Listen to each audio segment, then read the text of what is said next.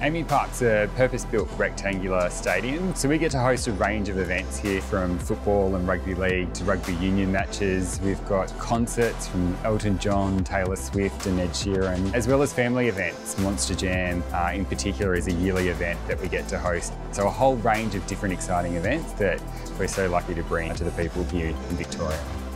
We've got a dedicated team that look after our pitch. So Justin, who is our head groundsman, makes sure that that pitch gets every single piece of inspection that can be done is done in the weeks leading up. We really want to make sure that come event day, we deliver a pitch that's almost like carpet. Then the team uh, also makes sure that as soon as everyone comes into the stadium, we're safe and secure, but also get to really watch a great game Playing AAMI Park is unreal. Uh, it's a beautiful stadium. It's like carpet, the ground. The infrastructure, it's amazing. You just really feel like a professional every time you step out here. Having a home where people really are astounded by when they walk into it as an opposition team and they're jealous. Every time we come out onto this park, it's immaculate. It always looks great, it always feels great. My most memorable moment at AAMI Park was against Brisbane Roar when I scored my first professional goal. Johnson takes that I've been the venue manager here for the last two W League Grand Finals and we were certainly lucky enough to see Melbourne City recently win, which was an exciting year for us and seeing the girls run out there at AAMI Park. There's no other stadium like it. And having that grand final was just a, a great way to end the season, uh, not just for the players but for us as well. I have been involved in countless grand finals at AAMI Park and I think it had a lot of people on the ground that I have long life relationships with. There's something about AAMI Park that brings us all together and makes us feel like a family.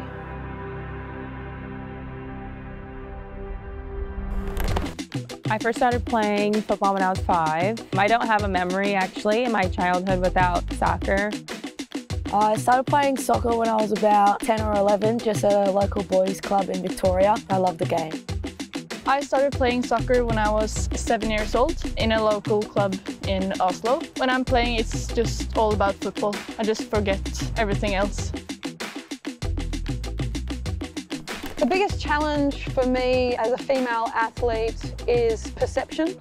When I was uh, seven years old, I was the only girl in an all-boys team, but then I got banned because I was a girl, so I wasn't able to play again until I was 14 because I've been through a lot of things. So I'm trying to mentor as much as I can. If somebody is asking a lot of questions and wanting to put a lot of time, I'm happy to give that time back and making sure that they grow as a human, as a footballer. And basically I want to remind them at every step of the way that I'll be there beside them. Whether we win or lose, it's just about making sure that they're giving 100%. And I just get the opportunity to learn from people who are really, really different than I am. It's interesting to learn about how people process life. It's always a positive.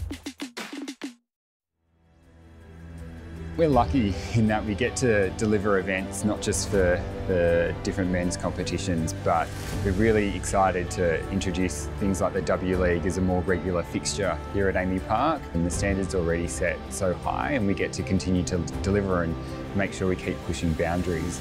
We've got the FIFA Women's World Cup coming here to the stadium in 2023. The legacy items that is going to be left by the FIFA Women's World Cup, not just for uh, women in sport, but for all our hirers, is something that we're really excited to be able to showcase, uh, not just to Australians, but the rest of the world. The message I want to send out to young girls out there that want to play sport is don't let success go to your head or failure go to your heart. You meet so many amazing people along the way and you really learn lessons that help you carry through life that are applicable off the field put yourself out there, take action and have fun.